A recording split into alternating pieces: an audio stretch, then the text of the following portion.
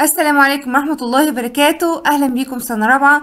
أنا Miss أميرة ودي قناتكم كرتون science. النهاردة بإذن الله هنبدأ فيديو رقم أربعة في مراجعة المتميز للأستاذ محمود سعيد لمادة ال ICT الصف الرابع الابتدائي ال term الأول لمحتوى امتحان شهر نوفمبر لمادة ال ICT النهاردة بإذن الله هناخد ثيم 2 lesson 4 بعنوان how to search online. وهنحل كل الأسئلة اللي عليه.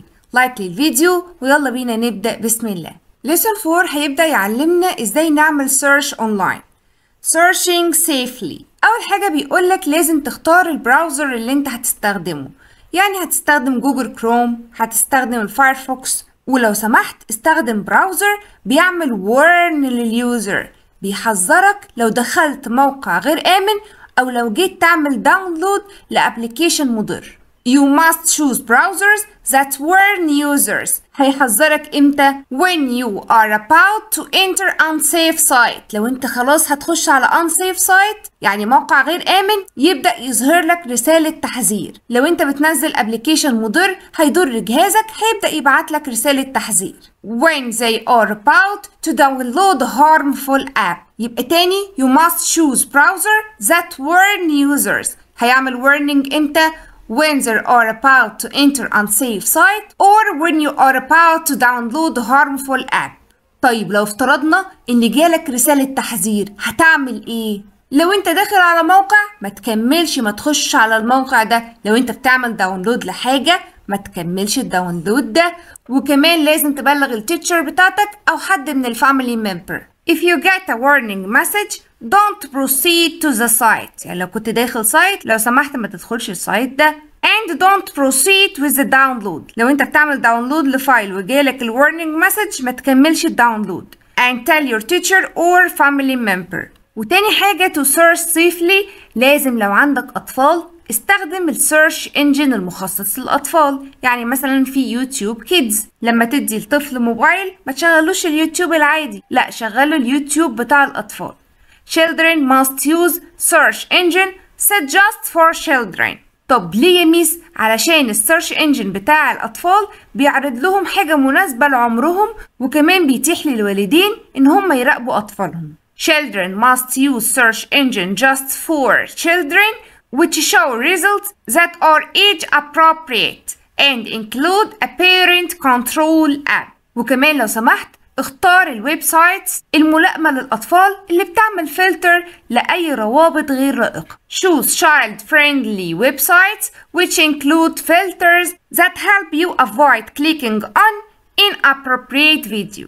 يبقى تاني how to search online You must choose the browser that warn users when you enter the unsafe site or download harmful app and children must use search engine set just for children and choose child-friendly website which include filters وبكده نكون عرفنا ازاي نعمل سيرش بطريقة آمنة دلوقتي هنعرف ازاي نقدر نعمل سيرش بذكاء searching smartly يعني لو عايز تعمل بحث عن حاجة معينة إزاي تعمل ال search ده عشان توصل لأحسن نتيجة؟ في البداية بيقولك تقدر تستخدم ال search engine to search for information on internet. يعني ممكن تستخدم جوجل عشان تدور على أي معلومة على الإنترنت.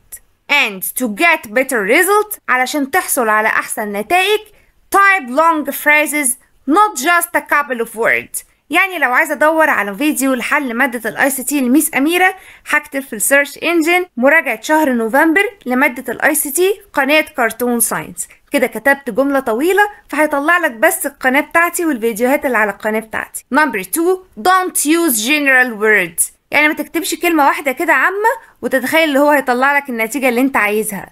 لأنك لو كتبت كلمة عامة ممكن يطلع لك نتائج ملهاش أي علاقة باللي انت بتدور عليه. Don't use general keywords. If you use general keyword, you will get many results not relevant to your search.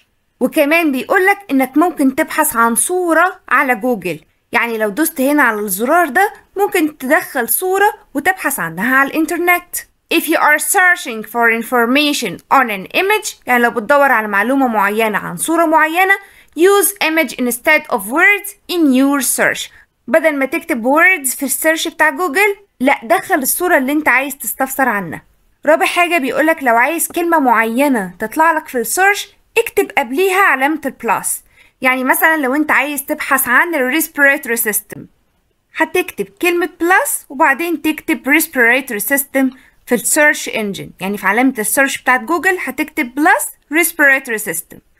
يبقى add plus sign before the word if you want to appear this word in your search result. يعني لو عايز نتائج البحث بتاعتك تطلع فيها الكلمة دي. طب يا miss لو مش عايزة كلمة معينة تطلع لي في ال result أعمل إيه؟ اكتب قبلها علامة ال minus add minus sign before the word if you want to avoid this word in your search result.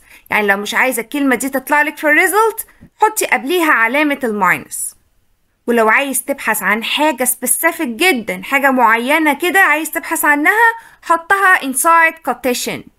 يعني حطها بين العلامتين دول.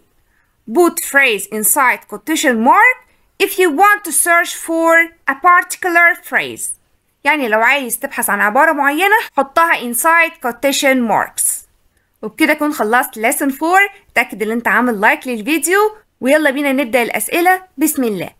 Question number 1 choose the correct answer. هنبدأ من أول number 26 If you are searching for information on an image يعني لو بتدور على حاجة أو معلومة في صورة use what in your search. هنستخدم إيه في السيرش بتاعنا؟ هنستخدم الصورة بتاعتي ال image ولا فيديو ولا letters يعني أكتب حروف عشان أبحث عن حاجة. طبعا لما باجي أعمل search عن image ممكن أستخدم ال image في ال search number 27 to search for an exact sentence لو بتدور على جملة معينة we put a sentence between what هنحط علامة ايه في السيرش هنحط plus ولا هنحط السنتنس دي between two quotations ولا هنحط علامة الات طبعا هنحط الجملة between quotation number 28 the plus sign before the word tell the search engine to what the word لما تحط plus قبل الكلمة كده انت بتقول لمحرك البحث ايه إنك تتجنب الكلمة دي avoid it ولا include يعني حط لي الجملة دي في ال result بتاعتك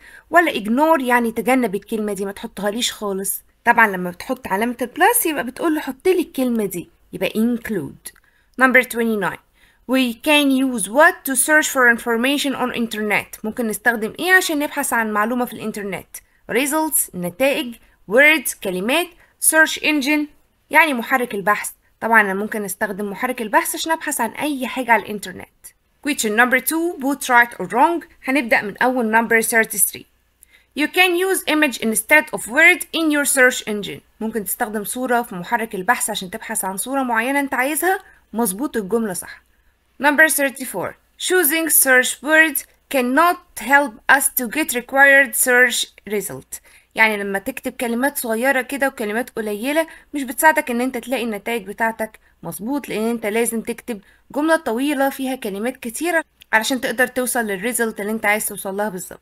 Number 35 The quotation mark is used to summarize the search result that you want. يعني لما تحط حاجة between two quotation يبقى أنت كده بتحدد له أنت عايز تعمل search على إيه بالظبط. مظبوط الجملة بتاعتي true. Number 36 add minus before the word you need to be included in your search. لما بتحط minus يبقى انت عايز الكلمة دي تبقى موجودة في ال search بتاعك. لا غلط. لأن لما بتيجي تحط minus يبقى انت مش عايز الكلمة دي في ال search result بتاعتك. Number 37 To ensure that your search includes certain word use a simple minus. يعني عشان تتأكد إن ال search بتاعك جواه الكلمة اللي انت هتكتبها دي حط قبليها علامة ال minus طبعا الجملة غلط بتحط قبليها علامة ال plus Number 38 Sign plus can be added before the words you want to appear in your search result. يعني بتحط plus على قبل الكلمة اللي انت عايزها تظهر في ال result بتاعتك. مظبوط الجملة صح؟ You should choose the browsers that send warning to user. يعني استخدم ال browser اللي ممكن يبعت لك رسائل تحذيرية. لو انت مثلا جاي تعمل download ل file مش كويس أو فيه فيروس يبعت لك رسالة تحذيرية. طبعا الجملة بتاعتي true. شكرا جدا للمتابعة أتمنى إن أنا أكون قدرت أساعدكم. يا ريت like و share للفيديو لنشر المحتوى. أشوفكم مع ألف خير الفيديو اللي جاي. سلام.